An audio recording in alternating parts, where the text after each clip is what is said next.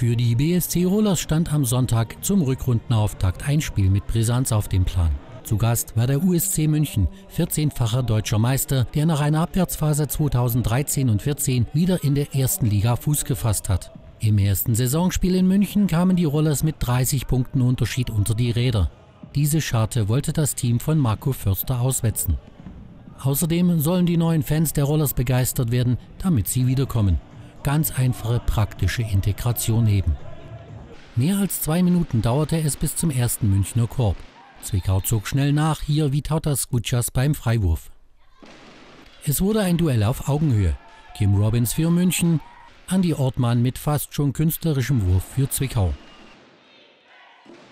Und hier zeigt sich eine neue Qualität im Zwickauer Spiel. Am rechten Bildrand schleicht sich Rostislav Pullmann davon, Magenheim verwirft, Skutschas und Kenyon machen den Rebound und dann ist Rosti da vorne ganz alleine.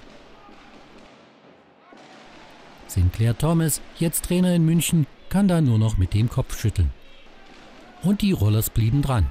Günther Meier. Das Spiel blieb hart und wurde zeitweise hektisch, auch weil die Schiedsrichter Entscheidungen fällten, die nicht immer für das Publikum nachvollziehbar waren. Rosti fährt in die Zone und wirft nach weniger als zwei Sekunden. Laut Schiedsrichter soll aber Vanessa Erskine vor dem Wurf mehr als drei Sekunden in der Zone gewesen sein. Da kann selbst Marco Förster nur noch verständnislos nach Luft schnappen. Das Halbzeitergebnis ließ eine kleine Sensation erahnen, auch wenn hier noch alles offen ist. Bei Zwickau war es vor allem eine echte Teamleistung. Super Defense-Reaktion von Ben Kenyon, Mikhail Matvejev, der Neuzugang aus Russland, geht nach vorn, sieht rechts wie Tautas Kutschas.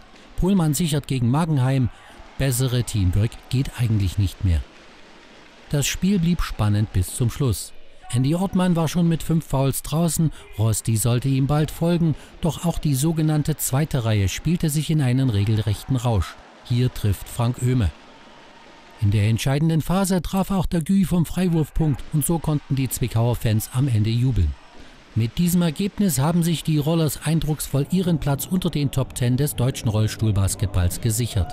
Und da dürfen bei den ältesten Fans, die dem Verein schon weit mehr als 20 Jahre die Treue halten, schon mal ein paar Tränen sein.